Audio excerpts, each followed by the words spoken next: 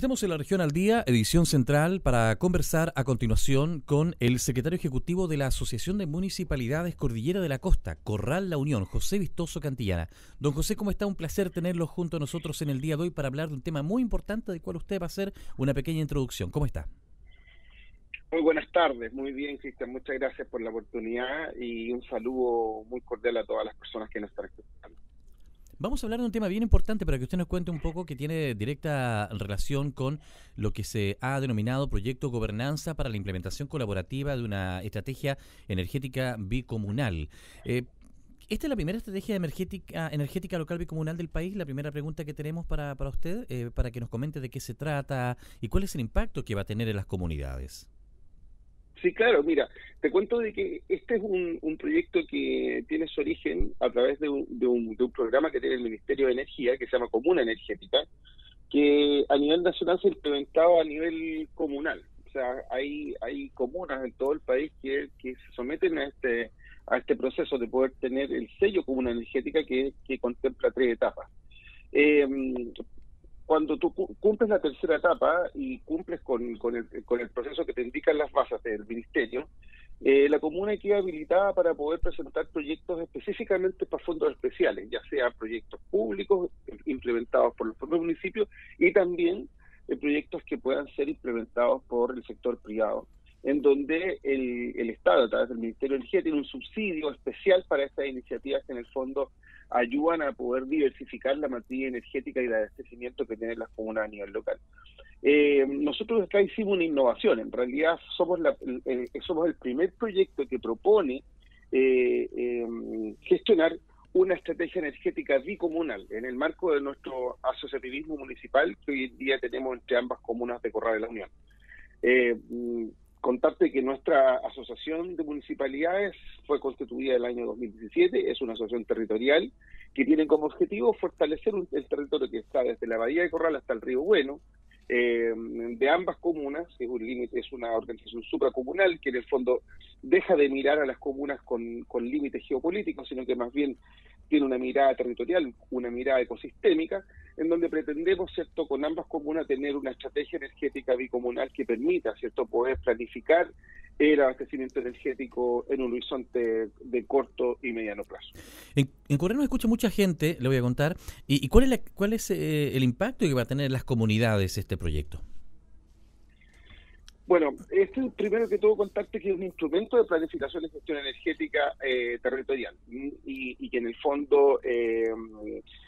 eh, hay una primera etapa que tiene que ver con un diagnóstico energético que es súper relevante. O sea, nosotros tenemos que entender de qué forma se está, se está utilizando la energía y, cómo y cómo dependemos de la hoy hoy en día la energía. particularmente este diagnóstico ya está avanzado, la primera etapa que, que significa eh, el diagnóstico energético, después viene una segunda etapa donde se ponen objetivos y metas y después un plan de acción. Eh, en este diagnóstico nosotros hemos visto algunas debilidades, lógicamente, que nuestros vecinos se pueden dar. Nosotros tenemos una un monopolio de distribución energética con las, con las empresas que existen en el lugar y generalmente eh, dependemos de, esta distribución energética y vemos como en los sectores rurales, por ejemplo, es muy fácil que se corte la luz, existe a veces un temporal, existe a lo mejor en, verano también, en invierno también, y suceden, hay, hay muchos sectores en los cuales eh,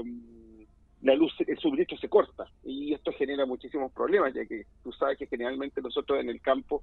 eh, necesitamos la energía también para el agua, a veces se nos corta la energía y no tenemos agua. Y en verano muchas veces tenemos los problemas que se, se echan a perder nuestros alimentos, sobre todo eh, en esta área que es un área que tiene una vocación turística de intereses especiales, en donde generalmente hay mucho emprendimiento asociado a eso. Entonces, la idea de establecer esta, esta, mm, este diagnóstico energético y, de poder, y poder en conjunto, poder establecer junto con, cada uno de los habitantes, vamos a tratar de, de poder utilizar las tecnologías de información y poder utilizar toda la metodología necesaria para poder cierto eh, eh, incorporar una participación comunitaria para poder establecer objetivos y metas en el futuro que nos permitan cierto buscar las soluciones de diversificación energética no exclusivamente depender de una matriz y depender de hoy en día de las empresas que transmiten la energía sino que poder ver eh, iniciativas innovadoras como por ejemplo contarte en Corral y La Unión en el sector costero tienen una, un potencial enorme de poder producir energía a través del mar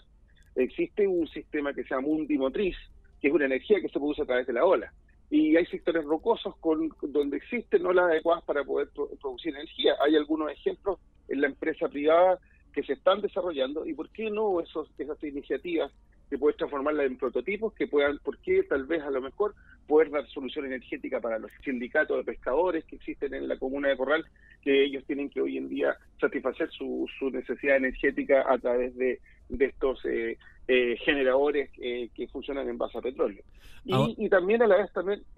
y con esto termino, y también a la vez también el, diagnóstico nos permite diferenciar claramente cuáles son los sectores que hoy en día hoy en día no tenemos energía. Es importante saber de que no en todas las localidades hay, energía y para qué hablar también existe un déficit de, de alumbrado público vial peatonal en los sectores rurales que hoy en día también carecen de ello.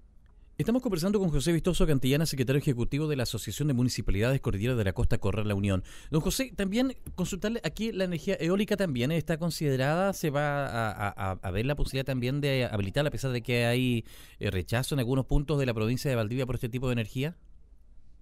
Eso es súper importante.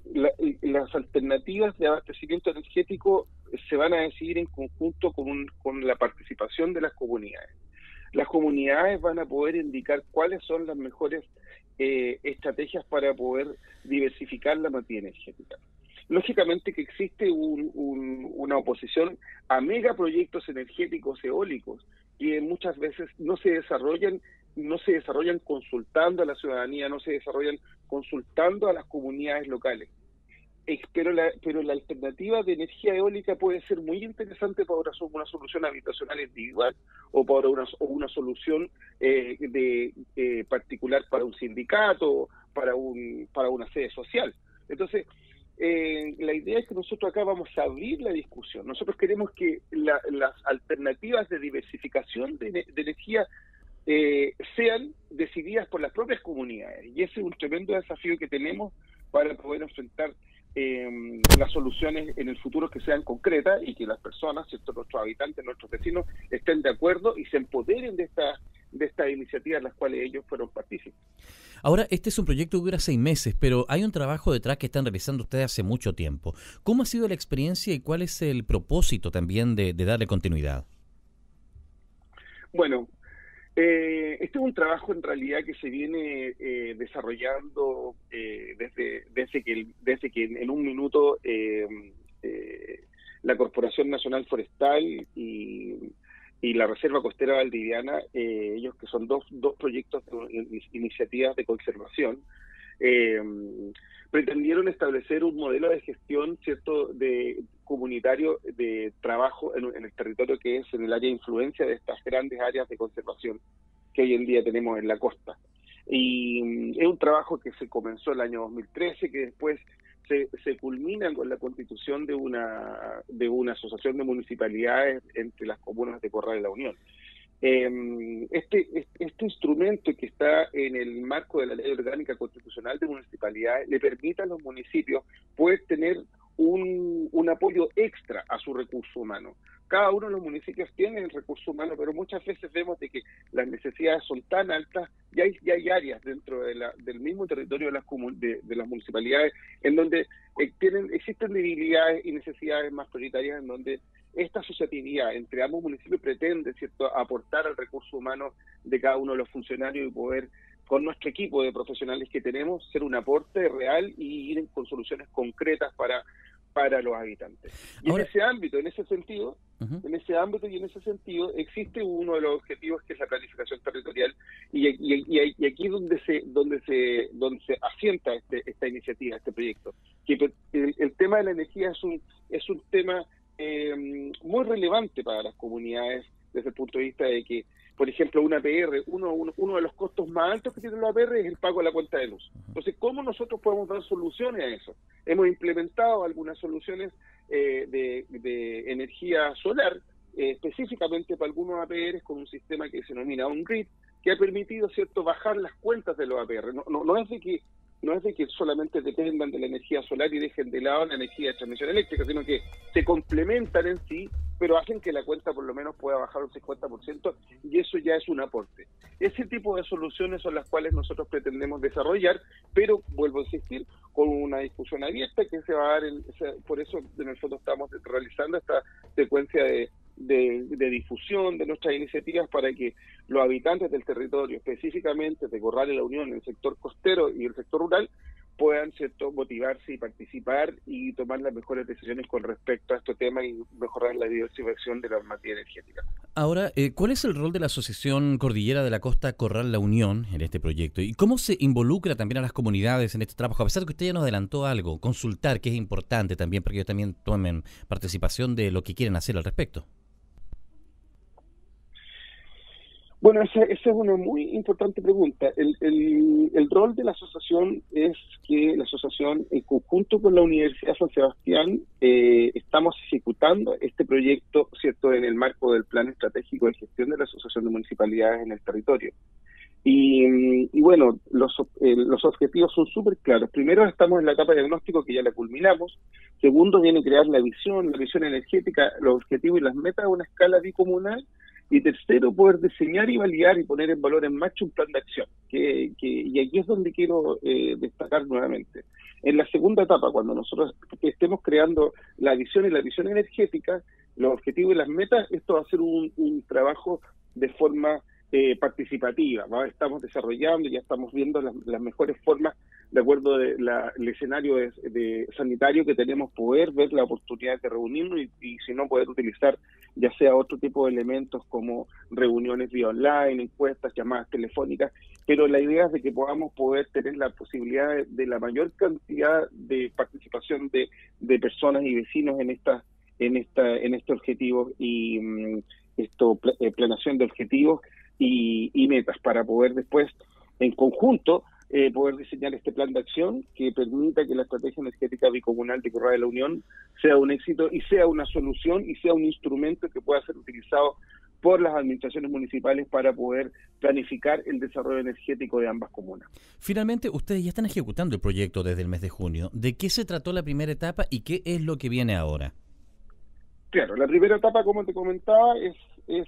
fue la etapa de diagnóstico. Nosotros hicimos un diagnóstico muy intensivo con respecto a la realidad, por decirte, darte un par de datos. Comentarte de que, por ejemplo, en la comuna de, La Unión, en el sector eh, urbano, el 93% de los hogares consumen leña para, la, para calefacción y, en el, y, en el sector rural un 93%. Y en el caso de, de, Corral, en el sector urbano un 96% y el sector rural un 98%. Entonces vemos de que de que la leña sigue siendo un, un, un, un cuanto una alternativa energética eh, muy usada y aquí hay que eh, planificar y trabajar mucho tal vez en el, en, el mejoramiento del, del, del, del, combustible, pero a la, vez, a la vez también hay que poder eh, trabajar en el aislamiento de los hogares para poder hacer un, un, un uso más eficiente. Entonces, este diagnóstico, este diagnóstico en el fondo eh, tiene un contexto demográfico, en el ámbito de la educación, en el ámbito de la salud, en el ámbito de la microeconomía,